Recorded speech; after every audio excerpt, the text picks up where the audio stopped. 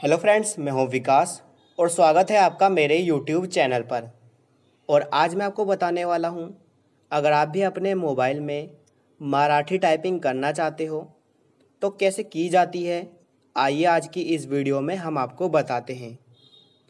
तो वीडियो को पूरा ज़रूर देखें और आप समझ जाएँगे। सबसे पहले आपको अपने मोबाइल में सेटिंग्स को चालू कर लेना है।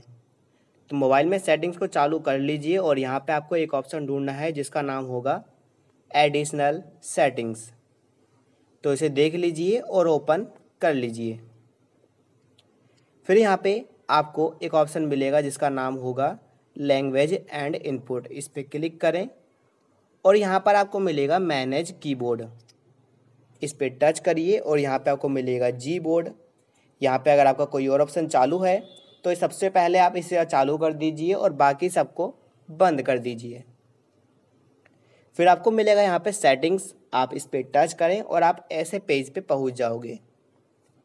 पर यहाँ पे आप इस पेज पे नहीं पहुँच पा रहे हो, आपको ढूँढने में दिक्कत आ रही है।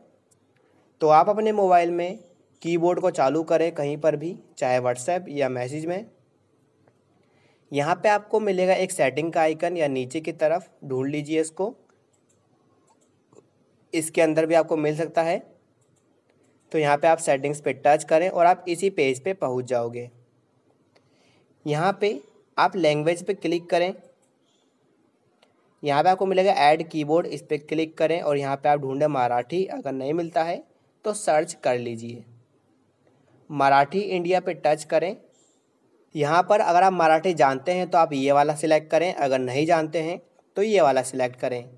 इससे क्या होगा, यहाँ पे आप हिंदी में टाइप करेंगे, जैसे कि आप कैसे हैं तो वो ऑटोमेटिक मराठी में तब्दील हो जाएगा। तो यहाँ पे हम इस वाले पे टच करते हैं। और डन वाले ऑप्शन पे टच कर देते हैं। फिर आपको जाना है व्हाट्सएप में या वहाँ पर जहाँ पे आप टाइप करना चाहते हैं। यहाँ पे अभी इंग्लिश की वर्ड आ रहा है। यहाँ पे आपको मिलेगा स्पेस बार आप इसे लॉन्ग प्रेस करें, यानी दबाए रखें, और यहाँ पे आपको मिलेगा मराठी, इस पर टच करें, और यहाँ पे मराठी वाला कीबोर्ड आ जाएगा। यहाँ पे कई सारी चीज़ें हैं, आप देख सकते हैं। तो आप अपने हिसाब से यहाँ पे मराठी टाइपिंग कर सकते हैं। तो शायद आपको समझ में आया होगा।